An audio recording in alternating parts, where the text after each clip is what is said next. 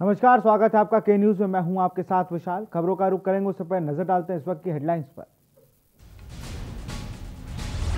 Lockdown में शादी पर सख्ती के आदेश, सिर्फ़ 10 मेहमान ही हो सकेंगे शामिल। शादी भवनों में और खुली जगहों पर भी शादी समारोह नहीं होंगे आगे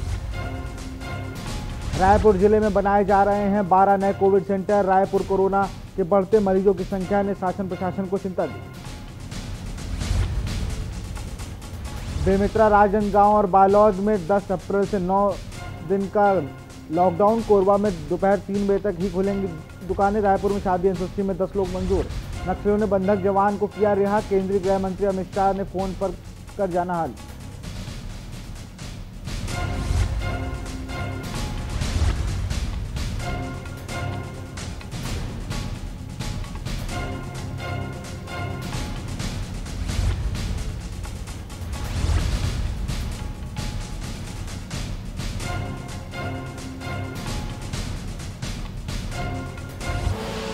आप देख रहे हैं के न्यूज़ खबरों का सारथी।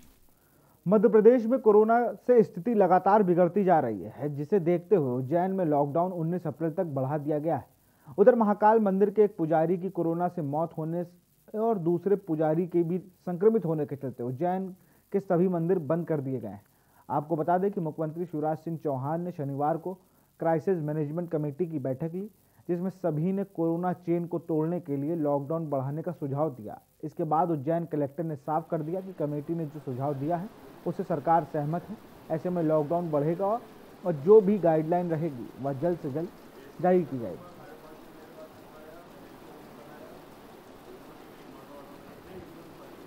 देखिए, महाकाल मंदिर में हम लोगों ने हमेशा से ही ध्यान रखा है कि मंदिर जो है वो संक्रमण का स्रोत न बन पाए। इसके लिए जो श्रद्धालुओं की संख्या थी पिछले दस बारह दिनों से कम करके हमने केवल 6000 दिन भर में कर दी थी, वो भी मात्र प्री बुकिंग के आधार पर कर रहे थे। और चूँकि स्लॉट्स के हिसाब से थी, इसीलिए सोशल डिस्टेंसिंग के साथ में वहाँ पर जो दर्शन थे वो संभव थे। इसके साथ साथ मास्क हमारा 100 परसेंट अनिवार्य था, लेकिन फिर भी दुखद रूप से दो तीन पुजारी जो हैं वहाँ पर कोरोना से संक्रमित हो गए। अब चूँकि लॉकडाउन का फैसला लिया गया है और अगले नौ दिनों के लिए सभी धार्मिक स्थल बंद हैं तो मंदिर भी पूरी तरीके से आम श्रद्धालुओं के लिए बंद रहेगा। जो वहाँ के पुजारी हैं, वो वहाँ पर रहेंगे। हम लोग ये देख लेंगे कि अगर 44 साल से अधिक की उम्र के पुजारी हैं तो हम लोग तत्काल उनको टीका लगवा दें। उज्जैन के महाकाल मंदिर में कोरोना महामारी को रोकने को लेकर अनुष्ठान चल रहा है। अनुष्ठान के दौरान मंदिर के वरिष्ठ पुजारी चंद्रमोहन गुरु का स्वास्थ्य खराब होने के कारण निधन हो गया। जिसके बाद पंडे पुजारियों ने दो मिनट का मौन रखकर चंद्रमोहन गुरु को श्रद्धांजलि दी। पुजारियों ने आम जन से अपील करते हुए कहा कि कोरोना संक्रमण का प्रभाव देश और प्रदेश में लगातार बढ़ रहा है। सभी लोगों को कोरोना संक्रमण से बचने के लिए शासन द्वारा निर्धारित गाइडलाइन का पालन करना चाहिए।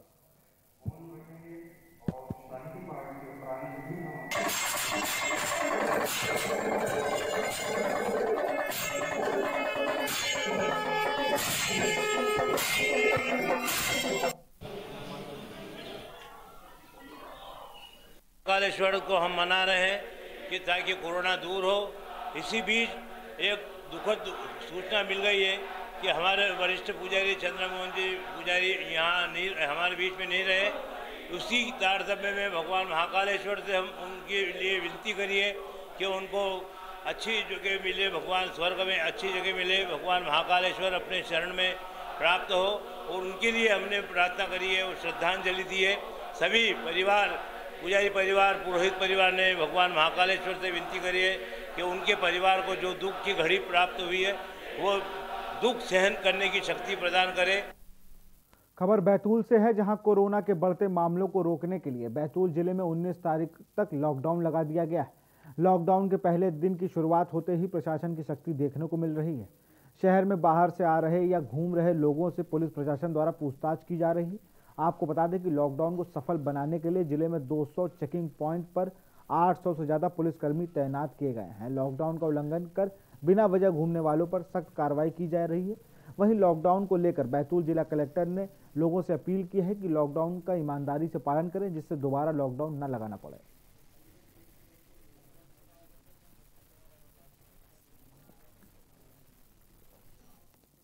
खबर छतरपुर से है, जहाँ कलेक्टर शिलेंद्र सिंह के आदेश पर कोरोना गाइडलाइन का पालन करने के लिए पुलिस प्रशासन सड़कों पर उतरा है।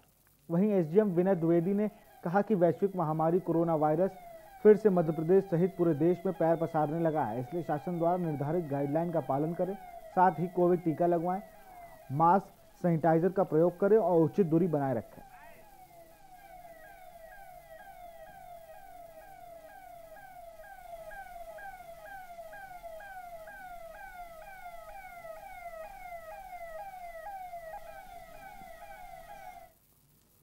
कोरोना के बढ़ते मामलों को देखते हुए रतलाम कलेक्टर कैलाश चंद्र के द्वारा संपूर्ण ज़िले में 10 दिन का लॉकडाउन लगाया गया है। आपको बता दें कि रतलाम ज़िले में प्रत्येक दिन 100 के करीब मरीज़ सामने आ रहे हैं। विगत तीन दिनों से ये आंकड़ा 418 हो चुका है, जिसको लेकर प्रशासन के द्वारा सख्ती दिखाते हुए 10 दिनों के लिए लॉकडाउन लगाया गया है। वहीं विपक्षी दल ने समाज के व्यक्ति एवं व्यापारी संगठनों के साथ में लेकर विरोध प्रदर्शन किया। विपक्ष का कहना है कि मात्र तीन दिन के लॉकडाउन से ही काफ़ी कुछ परिवर्तन हो सकता था, जिसमें 10 दिन का लॉकडाउन लगाकर गरीब मजदूर वर्ग के लोगों को ज़्यादा परेशानी उठानी पड़ेगी।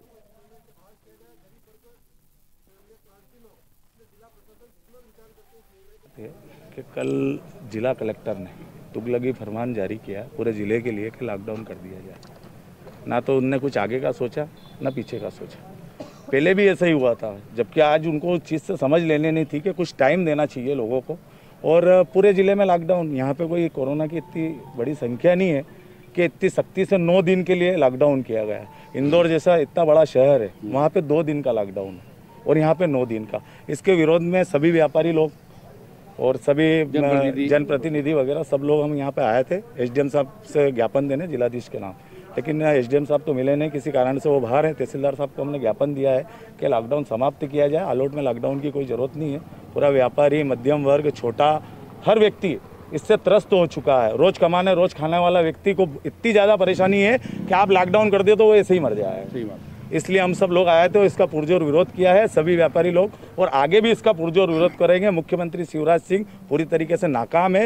ये चाहते हैं कि ये श्री राम सरकार, ये श्री राम सरकार नहीं है, रावण राज इस प्रदेश में लागू हो गए। महामहिम राज्यपाल महोदय के नाम से कांग्रेस पार्टी ने आज एक ज्ञापन सौंपा है, जिसमें लॉकडाउन का विरोध करते हुए उसको समाप्त करने के लिए लिखा हुआ है। वो ज्ञापन मूलतः कलेक्टर महोदय के माध्यम से महामहिम राज्यपाल महोदय को भेजा जाएगा। सर, मार्केट के अंदर अफरा तफरी का माहौल बना हुआ है, ऐसी स्थिति है कि सर एकदम मार्केट में रेट बढ़ गए हैं खाद्यान्न वस्तुओं के। इस मामले को लेकर आपके द्वारा कोई समिति गठित की जाएगी? ऐसी अगर कोई शिकायत आती है तो बिल्कुल उसमें तत्परता से कार्रवाई की जाएगी। अभी तक हमारे पास कोई ऐसी सूचना आई नहीं है। कल शाम को जैसे ही आदेश आया था तो हमने जो व्यापारी संघ के यहाँ अध्यक्ष है, उनको बुलाकर इस मामले में बिल्कुल क्लियर कर दिया था कि किसी प्रकार की कालाबाजारी ना हो। इसका ध्यान रखा जाए और अगर कोई शिकायत आती है व्यक्तिगत रूप से तत्काल उस पर कार्रवाई होगी शादी ब्याह का माहौल है लोग शादियों की तैयारी कर रहे हैं रही तो उसमें शादी ब्याह में बिल्कुल परमिशन है पचास व्यक्तियों का वर और वधु पक्ष प्लस उनके जो कर्मचारी जो व्यवस्था में लगे हैं अधिकतम 50 लोगों को मिलाकर अनुमति के प्रावधान लॉकडाउन में किए गए। लॉकडाउन जिला जिला प्रशासन ने 19 तारीख तक के लिए पूर्ण लॉकडाउन की घोषणा करी है। पूरे ज़िले के अंदर पहले यह निर्णय लिया था कि जिला रतलाम शहर में ही केवल लॉकडाउन रहेगा और बाकी ज़िले के अंदर केवल तीन दिन के लॉकडाउन की बात कही गई थी। लेकिन कल अचानक जैसे जनता को पता चला कि लॉकडाउन की जो परिस्थितियाँ हैं वो डायरेक्ट 19 तारीख तक के चली चली गई हैं। तो 19 तारीख तक का जैसी लॉकडाउन घोषणा हुई है, पूरे क्षेत्र के अंदर जनता में हाहाकार मच गया है। सब तरफ़ किराना, किराने के लिए, सामान खरीदने के लिए एक भय और असमंजस का माहौल पूरे क्षेत्र में हो चुका है। छोटा गरीब मजदूर, मजदूरी करने वाला दिन दहाड़ी मजदूरी करने वाला और छोटे छोटे काम करने वाला आदमी वैसे ही उसकी आर्थिक स्थिति ऐसी बदहाली की स्थिति में है। और पिछले एक वर्ष के लॉकडाउन के और कोरोना के संक्रमण के दौर में आदमी उससे उभर के नहीं आया और उसके पहले उसके तुरंत बाद इस प्रकार का जो लॉकडाउन किया गया, उसका हमने विरोध किया है और उसका पुरजोर विरोध करते हैं। कोरोना संक्रमण के खिलाफ प्रत्येक व्यक्ति संघर्ष में उनके शासन प्रशासन के साथ है। लेकिन ये जो निर्णय लिया गया है, अनुचित है। हमारा कहना है कि रतलाम ज़िले में सेलाना है, सरवन है, बाजना है आलोट है जावरा है पिपलोदा है इन सारे क्षेत्रों को इससे बाहर रखा जाए। यहाँ रुकते एक छोटे से ब्रेक के लिए जल्द हाजिर होंगे।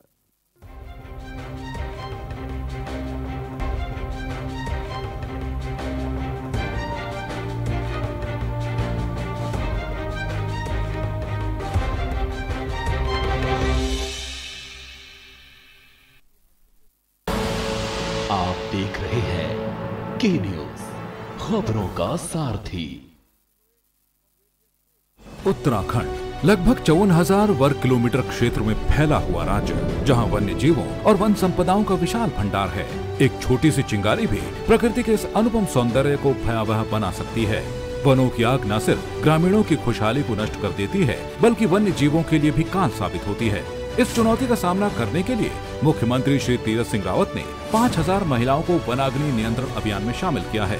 अत्याधुनिक अग्निशमन उपकरण लेने के साथ साथ संवेदनशील क्षेत्रों का ड्रोन से सर्वेक्षण कार्य भी शुरू किया गया है। दूरस्थ और दुर्गम क्षेत्रों में आपातकालीन स्थिति में हवाई सेवा का भी उपयोग किया जा रहा है। आइए हम सब मिलकर अपने बनों को आग से बचाने का प्रयास करें। आपकी जरा सी सावधानी हमारी अमूल्य प्राकृतिक संपदा को बचा सकती है। आपसे अपील है कि वनों में आग लगने की सूचना जल्द से जल्द वन विभाग को दें।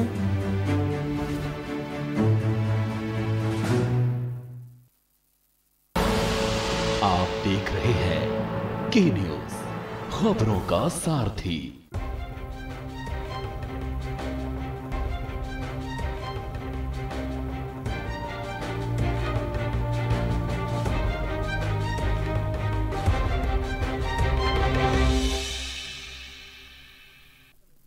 ब्रेक के बाद आपका स्वागत है। खबर ग्वालियर में मध्य प्रदेश सरकार के आदेश के बाद ग्वालियर शहर में 60 घंटे का लॉकडाउन लगाया गया है, जिसके तहत जिला प्रशासन के आदेश पर इमरजेंसी सेवाओं को छोड़ बाकी सब कुछ बंद किया गया है। लेकिन इन सब के बीच एक स्कूल प्रबंधन की बड़ी लापरवाही सामने आई है, जिसमें लॉकडाउन के दिन, यानी आज, शनिवार को सुबह बच्चों को स्कूल बुलाकर उनकी जान जोखिम में डाली जा रही है। जैसे ही मीडिया को स्कूल प्रबंधन के इस मनमानी रवैये की जानकारी लगी वैसे ही स्कूल प्रबंधन ने धीरे धीरे स्कूल से बच्चों को घर से लिए निकालना शुरू कर दिया।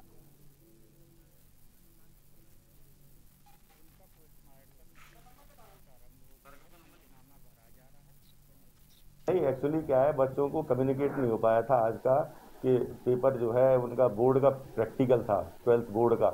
और उसकी वजह से कुछ बच्चे आए थे उनको अपन कमरे में बिठा करके उनके पेरेंट्स को बुला करके वापस कर दिया गया। पेपर प्रैक्टिकल हुआ नहीं आज। आपसे आदेश कब आया था? मेरे को आज सुबह उनका भी फ़ोन आया था अमर सिंह जी का कि आपके स्कूल में प्रैक्टिकल हो रहा है। मैंने कहा नहीं प्रैक्टिकल नहीं हो रहा है कुछ बच्चे आए हुए हैं और वो पूछने के लिए आए थे उनको वापस कर दिया गया क्योंकि बोर्ड का प्रैक्टिकल था उनका. छतरपुर में लॉकडाउन को सख्ती से पालन कराने के लिए कलेक्टर और एसपी ने सड़क पर उतरकर शहर का मुआयना किया।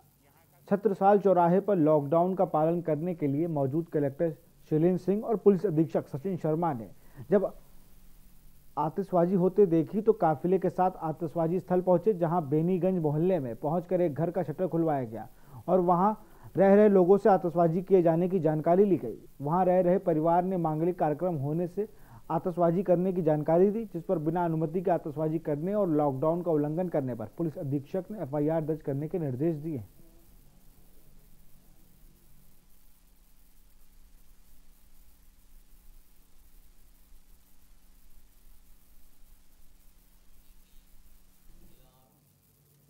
सतना ज़िले के अमरपाटन में कोरोना मरीज़ की संख्या में लगातार इजाफा हो रहा है, लेकिन अस्पताल प्रबंधन इस भीषण महामारी में भी लापरवाही करने से बाज नहीं आ रहा।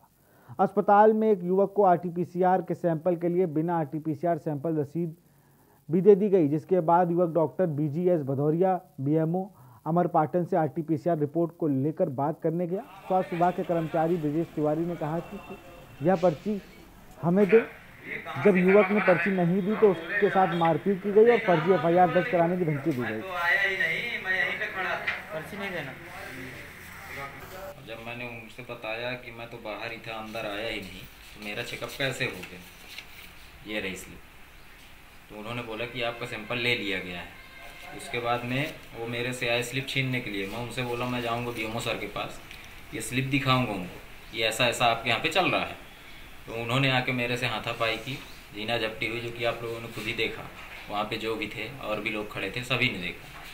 मेरे साथ मारपीट की तो थाने में आपने रिपोर्ट की? थाने पे मैं गया था रिपोर्ट डालने के लिए तो उन्होंने ये बोला कि वहाँ के अधिकारी जो हैं वो बीएमओ साहब हैं। बीएमओ साहब से आप जाके मिलो। अभी तो इसकी जाँच कराएँगे इसके बाद में जो दोषी हैं अगर आप लोग दोषी हो तो आप लोगों के खिलाफ एफ़ कराई जाएगी जो दोषी है उसका एफ़ कराई जाएगी। केंद्र सरकार द्वारा आर्थिक रूप से कमज़ोर नागरिकों को स्वयं का आवास उपलब्ध कराने के लिए प्रधानमंत्री आवास योजना चलाई जा रही है। लेकिन सीएम शिवराज के गृह ज़िले सीहोर में इसका लाभ जरूरतमंदों को नहीं मिल पा रहा है। योजना शुरू हुए 10 साल बीत गए हैं लेकिन ज़िले में अभी भी अनेक ऐसे गरीब भोले भाले नागरिक हैं जो कच्चे मकान में टूटी फूटी छतों के सहारे अपना जीवन व्यतीत कर रहे हैं।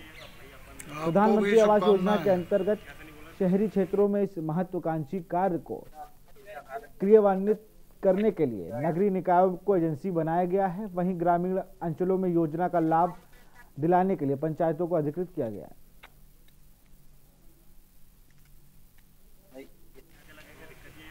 नहीं आपके द्वारा ये बात मेरे संज्ञान में लाई गई है और ये गंभीर मुद्दा है। मैं इस पे खुद ही इस पे जाँच करवाऊँगा और लाभ ये होगा कि अगर वो पात्र हैं तो उनको लाभ मिलेगा। ये मैं इस बारे में आपको सुनिश्चित करता हूँ।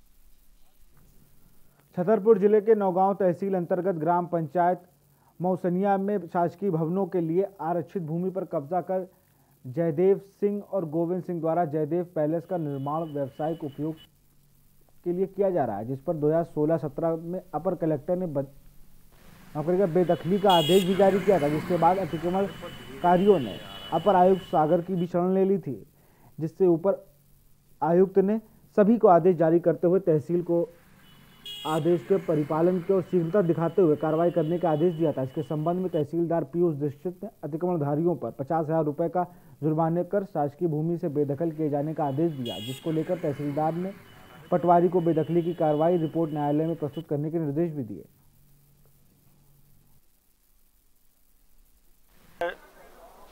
मऊसानिया खसरा नंबर तेरह सौ चौदह बटे तीन, जो शासकीय भवन के लिए शासन से सुरक्षित ज़मीन है। जिस पर गोविंद सिंह, जयदेव सिंह दोनों व्यक्तियों द्वारा शासन की मिली भगत से किसी समय अपने नाम फर्जी फर्जीवाड़ा तरीके से पट्टे करा लिए, जिस पर निर्माण कर, करा लिया। उस पर दमंग व्यक्तियों ने अनधिकृत से कब्जा कर लिया है, जिसका मैंने शासन द्वारा, शासन के हित में केस को लड़ा निरंतर जिस पर तीन तीन ऑर्डर शासन के हो गए जिस पर कोई कार्रवाई नहीं हो रही। यहाँ रुकते एक छोटे से ब्रेक लिए जल्द हाजिर होंगे।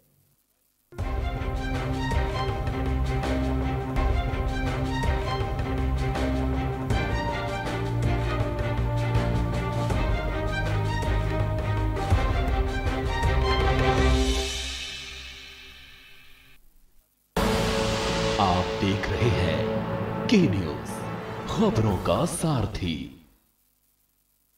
कोरोना वायरस का खतरा अभी टला नहीं है। आइए मेरे साथ आप संकल्प लें कि हम कोरोना से सावधान रहेंगे और अपने साथियों को भी इससे सावधान रखेंगे।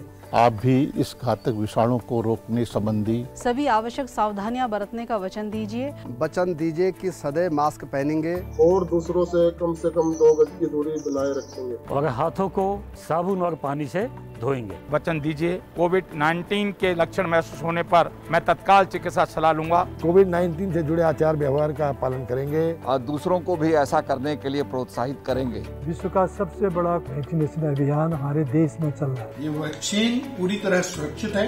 बारी आने पर इस वैक्सीन को आप ज़रूर टीका लगाने के बाद भी मास्क लगाना वो दो गज की दूरी रखना आवश्यक है। हम सब एक साथ मिलकर कोविड 19 के खिलाफ इस लड़ाई को जीतेंगे। दवाई भी कड़ाई भी। सुबह के लिए उड़ चला की ज़मीन पर खुशबू अपने पन की ढूंढता। औरों पर मेरी माटी की ये ज़ुबान। मेरी माटी की ये ज़ुबान है, मुझसे दूर मिलो दूर। पर ये दिल है कि चख रहा है, उन्हीं अल्फाजों का नूर नूर और नूर दूर कितना भी जा, इस ज़ुबान से दूर ना जा पाओगे। विमल, बोलो ज़ुबान केसरी।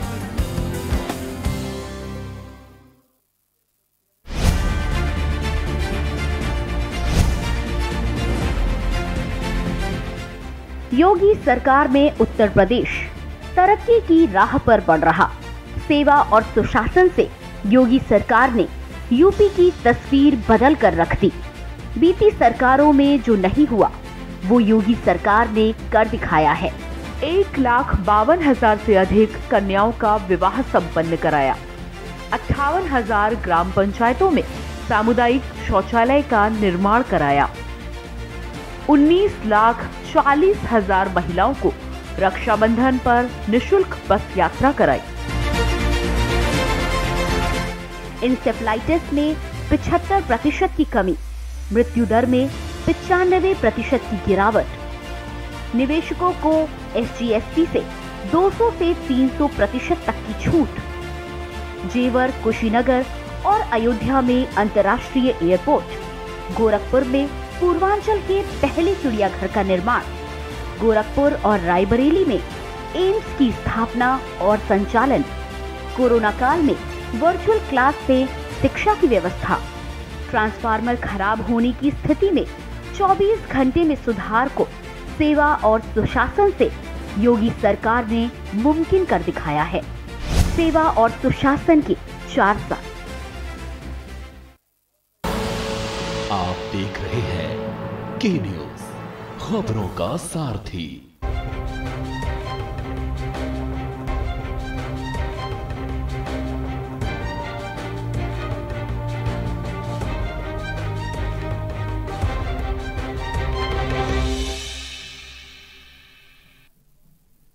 ब्रेक के बाद आपका स्वागत है। खबर शहडोल ज़िले के से है, जहाँ अंतिम शोर स्थित नगर परिषद खांड के ग्राम चंदौली में भूमाफियाओं द्वारा खुलेआम शासन प्रशासन की आँख में धूल झोंक कर बिना अनुमति के अवैध प्लाटिंग की जा रही है, जबकि इनके पास कोलोनाइजर एक्ट के गाइडलाइन, नगर विकास प्राधिकरण का लाइसेंस, एनजीटी का परमिशन, जिला कलेक्टर, एसडीएम नगर पालिका किसी की भी एनओसी नहीं है, फिर भी दबंगई से खुलेआम अवैध प्लॉटिंग कर रहे हैं और बिक्री कर रहे हैं, जिसके विरोध में भूमि स्वामी राम अवतार बैस की धर्मपत्नी परनिया बैस ने साथ ही स्थानीय लोगों द्वारा जिला प्रशासन से ऐसे अवैध प्लाटिंग की खरीद बिक्री पर रोक लगाने की मांग की।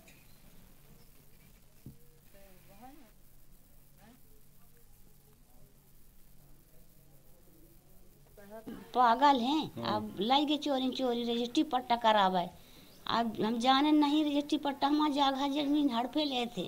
राजू सोनी। अब बार जनता वो नहीं बार जमाने चोरी चोरी लाई गई। हमारी तीन पाँच पढ़ाई की रजिस्ट्री साल की काल से हो जाए हम चाहे थे कि हमारा जगह ज़मीन मिल जाए। ये मामला संज्ञान में आने के बाद आ, उसमें कार्रवाई करने के लिए और उसके मौके की जाँच के लिए तहसीलदार को आदेशित कर दिया गया है। तहसीलदार द्वारा जब तक अपनी रिपोर्ट नहीं आती है तब तक अभी उसमें कोई कार्रवाई नहीं। वहाँ कुछ सूत्र के माध्यम से जानकारी मिली कि उस हल्के में जो पटवारी हैं वो अपने माता जी के नाम से उन माफियाओं से प्लाटिंग में प्लाट वो किए खरीदी किए इस संबंध में क्या बोलिए यदि तहसीलदार के प्रतिवेदन में ऐसी कोई बात आती है तो फिर संबंधित के खिलाफ भी कार्रवाई की जाए। छतरपुर में आपराधिक गतिविधियाँ रुकने का नाम नहीं ले रही हैं। मामला सिविल लाइन्स थाना क्षेत्र का बताया जा रहा है। दरअसल एक मिठाई की दुकान पर दो लोगों में मामूली विवाद हो गया, जिसके चलते एक युवक ने दूसरे युवक पर कट्टे की बट से वार कर दिया और फिर हवाई फायर भी किया, जिसके आसपास खड़े लोग और दुकानदारों में दहशत फैल गई। ये सारी घटना दुकान में लगे, सीसीटीवी में कैद हो गई।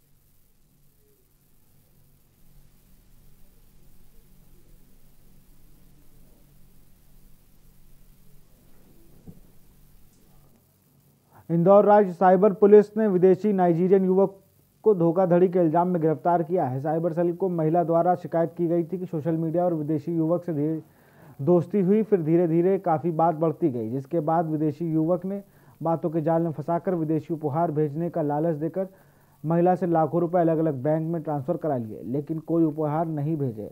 जब इसकी शिकायत राज्य साइबर सेल को की गई तो साइबर सेल की पुलिस ने दिल्ली में नाइजीरियन आरोपी को गिरफ़्तार किया, जिससे राज्य साइबर सेल की टीम पूछताछ कर रही है।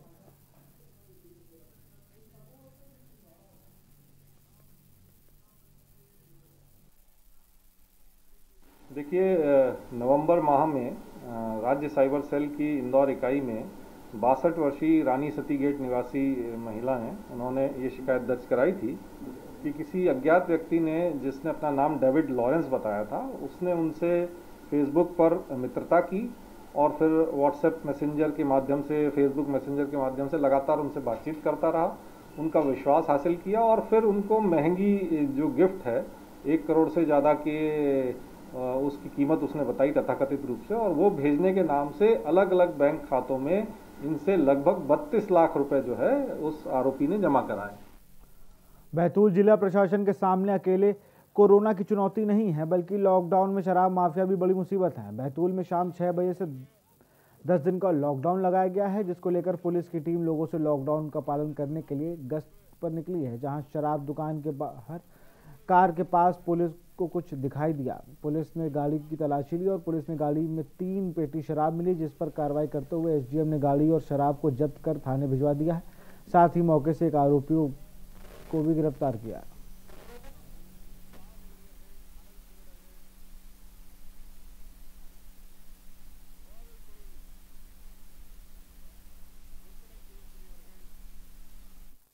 फ़िलहाल इस बुलेटिन में इतना ही। देख रहे के न्यूज़ इंडिया। नमस्कार।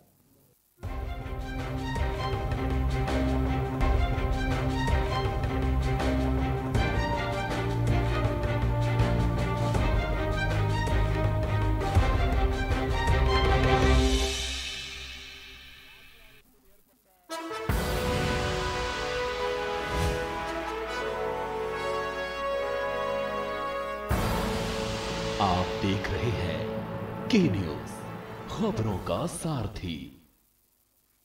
ज़ुबान के लिए उड़ चला की ज़मीन पर खुशबू अपने पन की ढूंढता, औरों की ज़मीन पर मेरी माटी की ये ज़ुबान।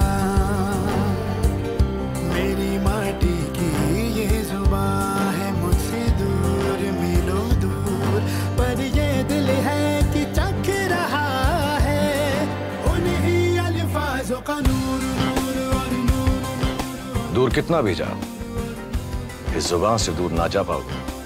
विमल, बोलो ज़ुबान केसरी।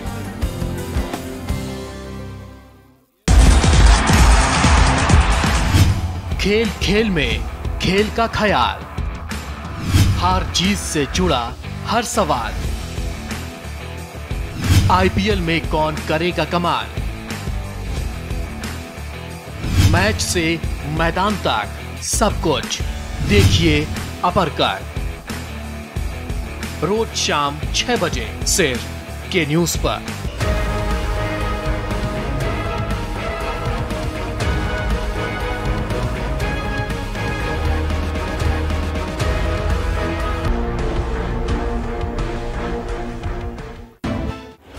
जब आपकी सोच को अंधेरा घेर लेता है और सिस्टम भी मुँह फेर लेता है जब वादों की परतें खुलने लगती हैं और हारी उम्मीदों का ऊँचा ढेर लगता है, जब सड़क पर एड़ी की रगड़ देखकर अब तक जो भी हुआ सब बेअसर लगता है, तब चिंतन से डगर होगी आसान, मंथन से निकलेगा समाधान।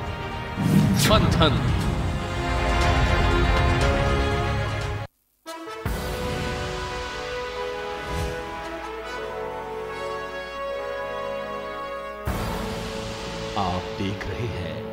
के न्यूज़ खबरों का सारथी।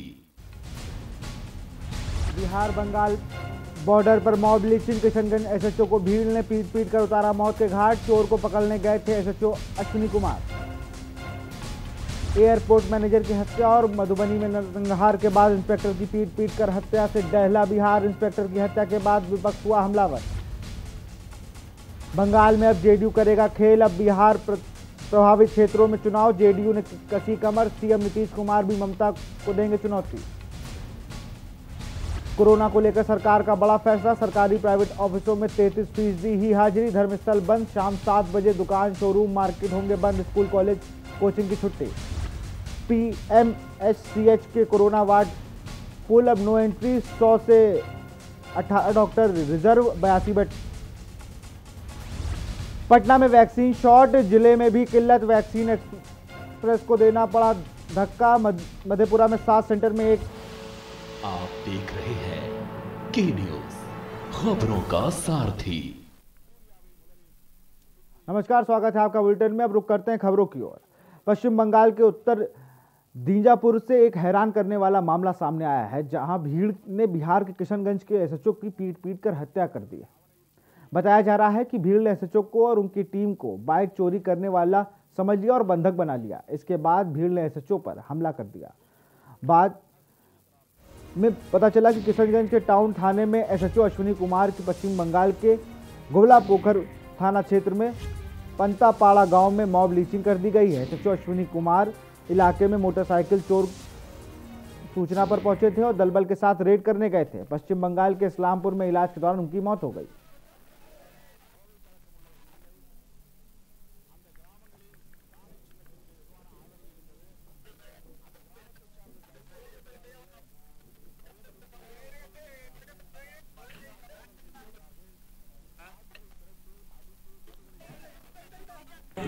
क्या लगे आप परिजन भाई का रिश्ता था तो आप बहन है क्या आप मांग करते हैं भाई की मौत हुई इस तरह से? आप लोग की मांग क्या है? मांग है कि उनको उचित न्याय मिलना चाहिए उनका बच्चा सब छोटा छोटा है और जो जो भी इस घटना में अगर कहीं कमी है तो दोषी पकड़े जाए। दोषी पकड़ी जाए। मुख्यमंत्री श्री नीतीश कुमार जी से मेरी बात हुई।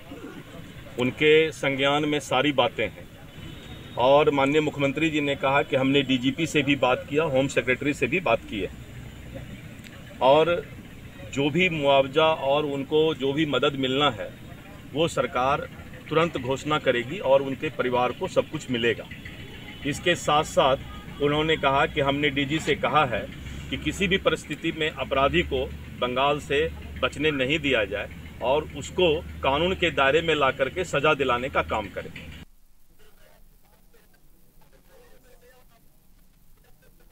आपको बता दें, किशनगंज एसएचओ को भीड़ ने पीट पीट कर मौत के घाट उतारा है। बिहार बंगाल बॉर्डर पर मॉब लीचिंग हुई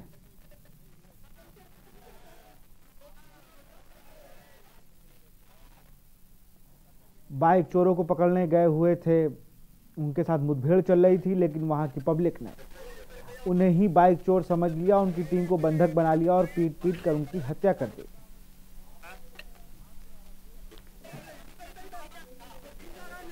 तस्वीरें आप देख रहे हैं, जब बंगाल के इस्माइलपुर में उनका इलाज चला, लेकिन अश्विनी कुमार ने वहाँ उन्हें डॉक्टर्स ने मृत घोषित कर दिया।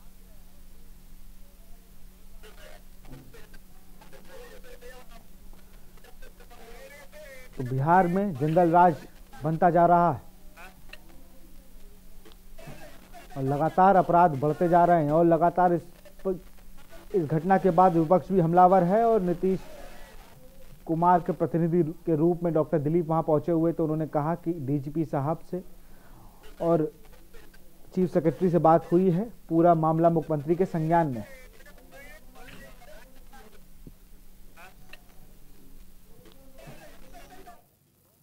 सहरसा सदर अस्पताल और पाड़ा मेडिकल समेत ज़िले